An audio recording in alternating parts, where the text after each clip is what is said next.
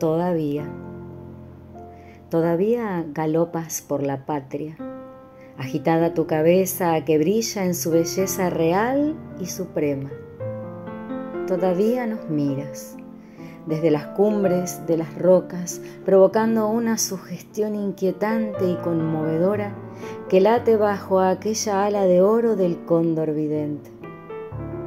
Todavía nos hablas, con tu voz rugiente de gran rebelde, con un lenguaje de inspiración bíblica, profundo de cosas humanas, auténtico como un huracán sobre el mar, con una terrible y dolorosa luminosidad del bosque en llamas.